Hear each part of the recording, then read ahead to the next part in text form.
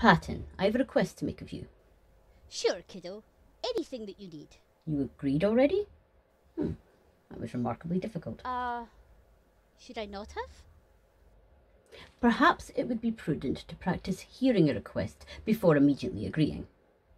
For when somebody else is asking, naturally. Okay. Remus is currently in the dark side kitchen. He dropped a marble down the garbage disposal and is attempting to retrieve it. With the garbage disposal still on. I'm having a marvelous time. He is having a marvellous time. However, due to the sprays of blood and bits of skin and scattered cloth about the place, I find myself without a sanitary environment in which to make tea. I was wondering if I might prevail upon you to make use of the light side kitchen. Please, of course, Janus. We have some tea bags and plenty of sugar no and need. I shall be bringing my own loose leaf tea. And a proper teapot.